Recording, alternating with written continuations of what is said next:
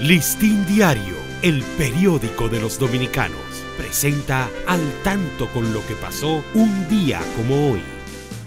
11 de agosto de 1903, fallece en Santo Domingo don Eugenio María de Hostos, filósofo, educador y luchador incansable por la independencia de Puerto Rico, país donde nació en 1839. Vivió en nuestra patria en calidad de exiliado en dos ocasiones, donde fundara la Escuela Normal, autor de numerosos trabajos de filosofía, educación y psicología. A él se le debe la implementación de la enseñanza racional en República Dominicana.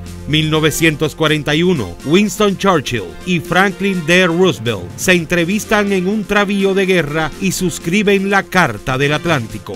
Para Listín Diario, soy Dani León.